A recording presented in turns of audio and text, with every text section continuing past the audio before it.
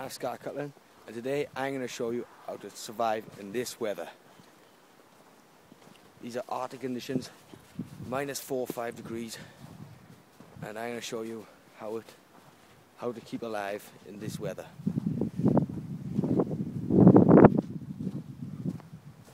starting to get a bit dark here.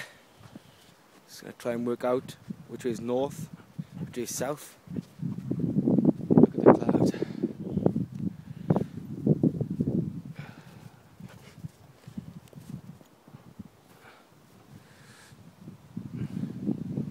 Yeah, I'm still going in the correct direction. I want to be heading north, which is this way, because that's the way the wind is blowing. I'll start a bit, speed it up a bit. It's getting a bit dark here. I want to try and make some way for camp before then. Oh, here, this Wimberry bush.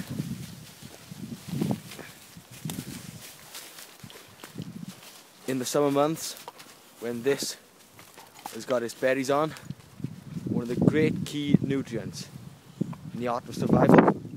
Eat a few of them, you ride for a couple of hours. But unfortunately, this winter, there's none here. So gotta look for more.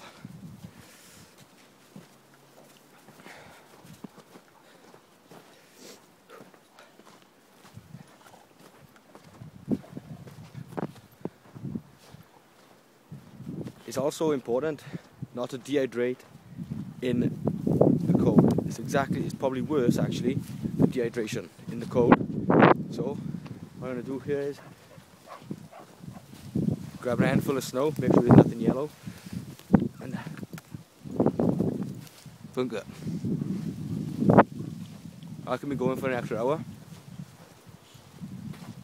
Cold. Yeah. So Still heading in the correct direction here. It's fine. Starting to sweat a bit now, so I'll have to keep using my hands for some uh, snow here. Some more. Oh, would you look at that? That is what they call a sake tree. This if you it over great nutrient. Oh bloody disgusting. But it's got nutrients to keep me going.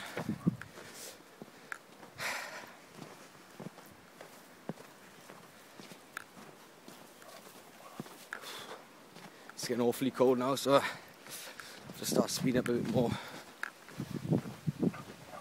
and that, and that up there, a cracking place for camp. Let's just go up there and have a look what I found up here. Oh. Ah. Ah. Ah. Ah. Oh. This perfect place for camp. Think I'm just gonna I don't know. Oh, great. Icicles. They'll be great use for me. Drink if I can just get up there. See them? Just get up there. Just to grab one. Just be careful that step in here. I hope there's no tigers or wolves or anything.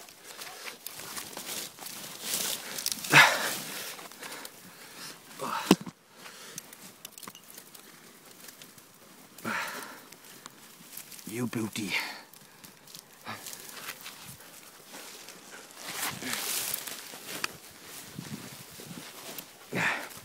And I'm going to leave you now. I'll speak to you in the morning after my great night's sleep. All the best.